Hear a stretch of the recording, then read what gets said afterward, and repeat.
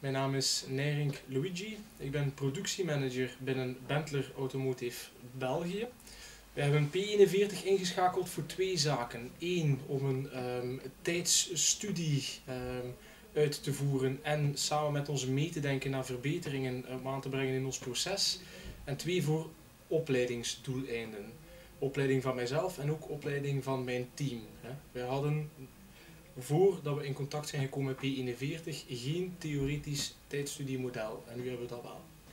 Procesverbetering. P41 heeft een volledige uh, studie gedaan van onze huidige situatie of van toen de huidige situatie in het bedrijf. Hè. En daar kwam eigenlijk als conclusie uit dat we best wel konden uh, verbeteren, best wel konden optimaliseren. Hè. En P41 heeft mij, heeft ons als organisatie erin geholpen om een veel betere uitbalancering te verkrijgen van onze lijn. Wat uiteindelijk op de werkvloer zeer sterk gesmaakt wordt bij de mensen die uiteindelijk de job moeten uitoefenen. En zeker ook uh, bij de uh, leidinggevers. Uh, twee, opleiding, P41, heeft mij leren kijken.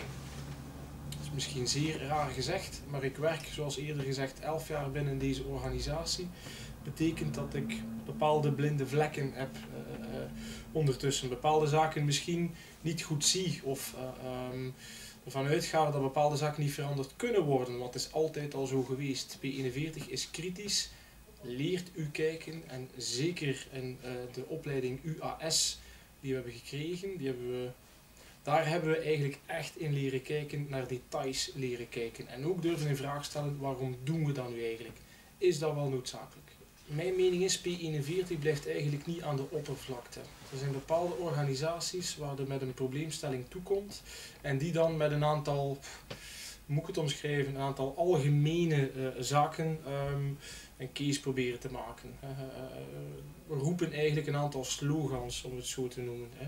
P41, die kruipt in het proces. Ik heb het eigenlijk intern, hè, toen ploegverantwoordelijken binnen mijn departement mij vroegen van ja, P41, wie is dat, wie zijn dat, wat lopen die eigenlijk te doen in ons bedrijf? Heb ik eigenlijk P41 vergeleken met varkens, niet slecht bedoeld, maar die achter truffels zoeken. Heb ik ze zo vergeleken en zo is het ook. Ze graven zich vast in een project, ze graven zich vast in een probleemstelling en die, ze gaan proberen tot op het kleinste detail het proces te kennen, onder de knie te hebben, om zo ook die kleine details mee te hebben in het verbeteren en optimaliseren. Wat een meerwaarde is, betekent voor mij als leidinggever, omdat de mensen op de werkvloer die uiteindelijk met de verandering moeten omgaan, kennen ook die details. Als je dan in discussie gaat, in gesprek gaat rond een aanpassing, dan gaat je eigenlijk uh, met gelijke uh, um, informatie naar elkaar toe. Vandaag werken we nog steeds met P41. Samenwerken met P41 is eigenlijk ja, voor mij zeer goed. Um, waarom zeer goed? Um, als wij een bepaald item, een bepaald probleem gaan bespreken of gaan bekijken, dan hebben wij zeer kort bij aanvang van het uh, problem solving dossier, om het zo te noemen, hè, hebben wij een zeer korte meeting en dan gaat P41 zelfstandig aan het werk. En um, trekt, om het zo te noemen, aan mijn broek wanneer uh, noodzakelijk. Dus P41 werkt op dat vlak zeer zelfstandig. Als je mij vraagt, de samenwerking, zeer goed. Zeer goed.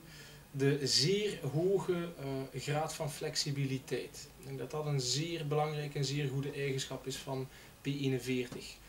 Eigenlijk concreet, de klant vraagt, zijnde ik vandaag, hè, de klant vraagt en P41 stelt alles in het mogelijke om zo snel mogelijk te ondersteunen en een oplossing te vinden. En dat een zeer, zeer sterke troef is van P41. Eerlijkheid, denk ik ook zeer belangrijk, P41. P41 schuwt het niet, geen enkele medewerker, om de waarheid te zeggen tegen de klant. Als iets niet goed is, is het niet goed. En dat apprecieer ik zeer sterk in gelijk uh, um, welke medewerker van P41. Algemene tevredenheid, um, zeer goed. Um, ik denk dat ik in de voorbije vragen hè, een aantal uh, motivatoren uh, daarvoor heb meegegeven. Hè. Algemene tevredenheid, zeer tevreden.